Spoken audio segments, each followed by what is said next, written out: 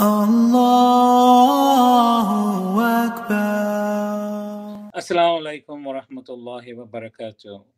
Uh, first of all, welcome to all of you. Course that inshallah I will conduct um, entitled Many Prophets, One Message. And this is very important as a da'i to understand uh, what is this message? How did this message get contaminated over the passage of time. And so when we learn from the Quran that Allah subhanahu wa ta'ala says,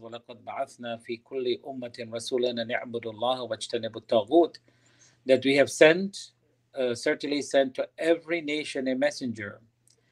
And their main task was to tell people to worship Allah and to stay away from any disobedience or any taghut, anything that violates the laws of Allah subhanahu wa ta'ala. And so the Prophet sallallahu alaihi wasallam also tells us, Al-Anbiya'u ikhwatun li'alat, ummahatuhum shatta wa dinuhum wahid. That the prophets are paternal brothers.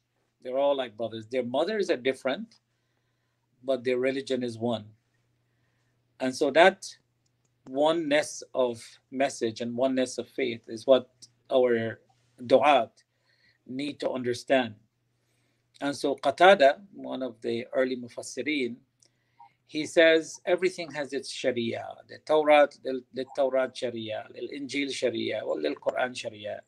يحل الله ما فيها ما يشاء ويحرم ما يشاء بلاء ليعلم من يطيعه وممن يعصيه that everything has its Sharia. Torah has Sharia, Injil, Quran, and Allah makes what He wants halal and haram. Walakin ad-din wahid. But the message is one. And so this is a very wonderful uh, program, inshallah. And hopefully by the end of it, students would be able to identify the unique message of all the prophets, um, understand the purpose for which prophets were sent, their character, and how people contaminated this uh, over the passage of time how this message was distorted and uh, inshallah each stage we are going to discuss um, after we break down the message into two, three parts. We will discuss each part, how they have uh, contaminated, and the need for messengers to come and rectify.